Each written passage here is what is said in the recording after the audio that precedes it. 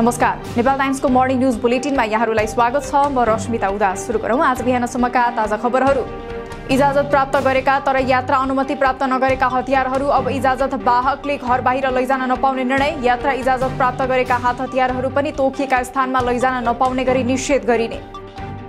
काठमाडौँ महानगरपालिकाका mayor Balen शाहद्वारा Singapore भ्रमण स्थगित। बिसदेखि बाइस जेठसम्म सिङ्गापुरमा हुन लागेको नवौं वर्ल्ड सिटी समिटमा भाग लिनका लागि मन्त्री परिषदले भ्रमणको लागि स्वीकृति दिइसकेपछि बालेनद्वारा भ्रमण रद्द।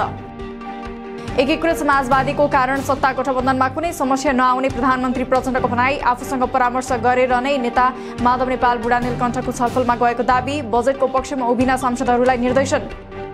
सरकारले विभिन्न कारणले ट्राफिक नियम उल्लङ्घन गरेकाहरूलाई ट्राफिक प्रहरीले शारीरिक दण्ड दिन थालेको भन्दै सर्वोच्च अदालतमा रिट निवेदन दर्ता। शुक्रबार दर्ता भएको उनीहरूको रिट निवेदनमाथि आइतबार प्रारम्भिक सुनवाई हुने।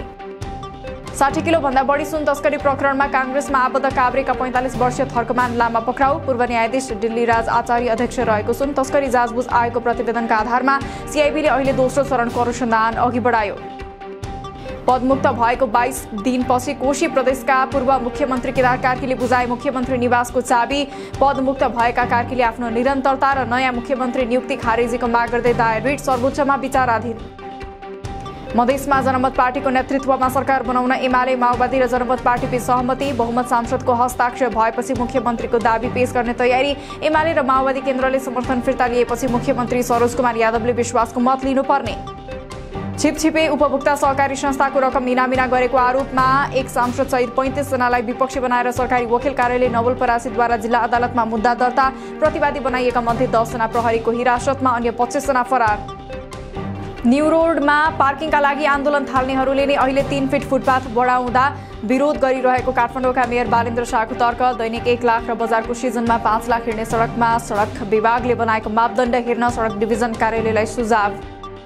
काठमाडौँ महानगरपालिकाको कार्यपालिका बैठकमा नगर प्रहरीको भूमिकाले विवाद सिर्जना वडाध्यक्ष चीन काजी महर्जनले आफ्नो वडाबाट डकैती शैलीमा फाइल उठाएको भन्दै प्रश्न उठाएपछि घर बहाल कर सम्बन्धी फाइल हेर्न त्यसो गरेको प्रमुख प्रशासकीय अधिकृत प्रदीप परियारको जवाफ।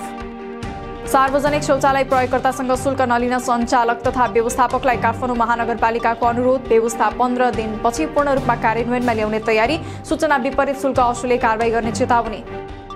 एसईईको नतिजा असार दोस्रो हप्ताभित्र सार्वजनिक गर्ने राष्ट्रिय परीक्षा बोर्डको तयारी। हाल विद्यार्थीको उत्तर पुस्तिका परीक्षण तथा सम्परीक्षणको काम सकेर इन्ट्री तथा टेबुलेसनको काम हुँदै।